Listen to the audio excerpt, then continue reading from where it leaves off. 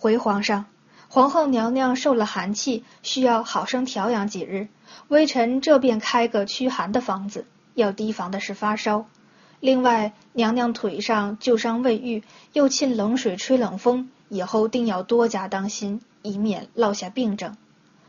太医仔细地给叶真真诊断之后说道：“叶真真已换了干爽衣服，身上裹了三条被子，活似一个小山墩儿。她此时方觉暖和了一些，脸上也有了血色。素风和另一个宫女正在用干手巾给叶真真擦头发，她的头发又长又密，很不容易干，黑尘如一丛鸦羽铺在床上。”姬无咎看着叶真真手上缠的纱布，问道：“这手上的伤又是怎么回事？”回皇上，娘娘虎口处有一处撕裂的伤口，大概是落水时不小心碰到了什么。叶真真懒洋洋的掀起眼皮，解释道：“试枪时鸟铳炸膛，把我的手震裂了。”你也太过胡闹！姬无咎厉声斥责。炸膛可不是小事，轻则重伤，重则一命呜呼。神机营曾经有个人瞄准时遭遇炸膛，钢珠穿眼入脑，其状惨不忍睹。今天叶真真只是被震伤虎口，不得不说是不幸中的万幸。叶真真见他横起眉毛又要骂人，干脆拽起被子把脑袋一兜，闷不作声。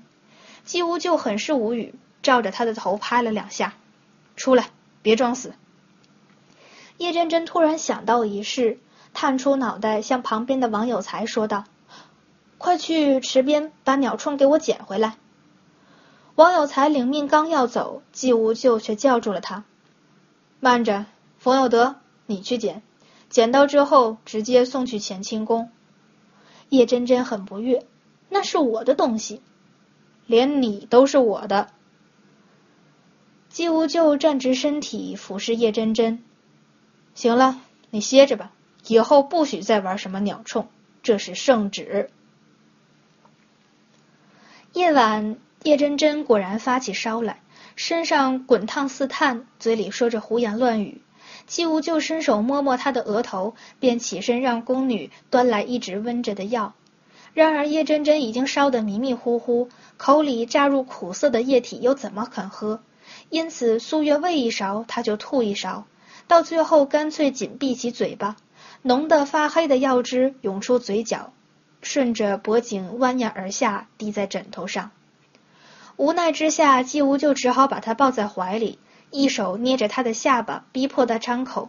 苏月便把药喂进了叶真真嘴里，因下颚被钳着，叶真真无法吐药，喉咙动了两下，也就把药给咽下去了。季无就又在他胸口轻抚，以防他呛到。忙活了半天，二人总算是把剩下的半碗药给叶真真灌下去。他还未发汗，他们两个倒是先出了一头。季无就让素月在外间候着，他把叶真真放回床上，替她盖好被子。叶真真烧得两颊通红，眼睛紧闭，眼角还挂着点点泪珠。这女人平时威风的像一头小老虎，如今柔弱的样子倒是难得一见。躺下之后，叶真真又开始说胡话了。季无咎竖起耳朵仔细听时，听到她说：“爷爷爷，哼，别把我嫁给皇帝。”悠悠叹了口气，季无咎自言自语道：“你不想嫁，朕又何曾想娶？只是如今木已成舟，你我二人毕竟是夫妻。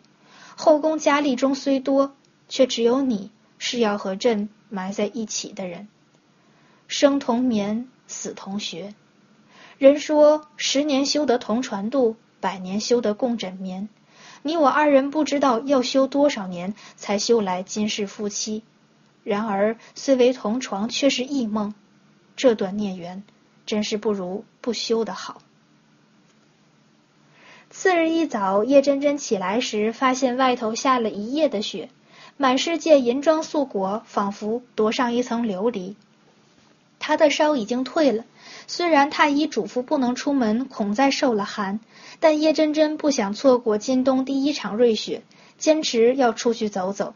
苏月劝不动，只得把她裹得像个蚕茧一样，手里塞着个大手炉，仔细检查一番，确认妥当之后，才让王有才推着她出去了。叶真真说想要去看梅花，王有才就推着她在御花园左近的梅社附近溜达。走了并不远，遇到好几拨人。叶真真戴着一个貂皮帽子，围着个狐狸毛做的围脖，身上再盖着一张老虎皮做的毯子，浑身上下只露着一双眼睛，活似个走马行商的皮毛贩子，接受着个人的顶礼膜拜。其实这时节梅花开的并不多，只稀稀落落有几株心急一些的，先顶着初雪绽开了笑颜。其他大部分都含苞不露。叶真真一开始还有些纳闷儿，能赏雪景的地方多的是，怎么一个两个的都往梅舍跑？难道满皇宫都是爱梅之人？等看到季无咎的身影，他才了解，原来醉翁之意不在酒啊。季无咎离得挺远，就认出了叶真真，他身上盖着的那张虎皮太过显眼。参参见皇上，臣妾腿伤未愈，不能行礼，请皇上莫怪。叶真真心安理得的坐着，说着这些废话。因为下半张脸都藏在围脖里，所以他的声音听起来闷闷的。可好些了？季无咎说着，伸手探进他的帽檐儿，摸了摸他的额头。他一早起来时，他的额头还有些烫。现在竟然已经完全退烧了，不得不说，这女人的身体还真是皮实，一点也不像个女人。她这个动作略显亲昵，叶真真有点不太适应。同样不适应的还有一众围观的莺莺燕燕们，贤妃、喜嫔、王昭仪、温婕妤等人，竟然都在这里和姬无咎巧遇了。现在看到姬无咎对叶真真的体贴，心思各异。庄妃也在，这女人很乖觉，主动站在了叶真真身后，帮她整理了一下裹在身上的层层衣物。叶真真满意的眯起眼睛，打量周围的女人们。娴妃本身就有一种冰清玉洁的气质，现在披着一条银狐皮做的披风，头上插了两只梅花，往雪中一立，莫说男人，太监见了都要动心。所以叶真真想，季无咎这回大概也就顺水推舟原谅他了。季无咎心情不错，他想带着他的大小老婆们去梅社坐一坐。所谓梅社，其实就是个四面透风的凉亭，建在梅林之中。几人尚未进入梅社，却见梅树遮映中走来一个女子，身着红色斗篷，手托白色琉璃瓶。瓶中插着一支怒放的红梅，女子五官小巧别致，脸上线条柔和温婉，美目流转之间，不是丽妃是谁？叶真真这才想起来，丽妃的禁足期确实已经过了。丽妃手捧红梅，施施然走上前来，众人都以为她会献给季无咎，却没有想到她见礼之后，对着叶真真跪下来。皇后娘娘，臣妾见这枝梅花开得尚算别致，便折下来，本想亲自送去坤宁宫，却没想到在这里遇见您。薄物简俗，只是臣妾的一点心意，还望皇后娘娘不要嫌弃。王有才，还不快扶丽妃起来！